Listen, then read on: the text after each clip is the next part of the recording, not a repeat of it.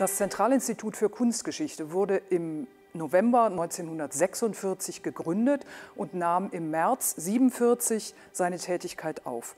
Das war die Zeit, wo hier im Gebäude der Central Collecting Point seine Arbeit verrichtet hat, die zentrale Kunstsammelstelle, über die die Restitution von Raubkunst abgewickelt wurde. Der aggressive nationalsozialistische Kunstraub aus öffentlichen und privaten Sammlungen hatte einen dramatischen Prozess von Kunstbewegungen ausgelöst, quer durch Deutschland, quer durch Europa und die Welt.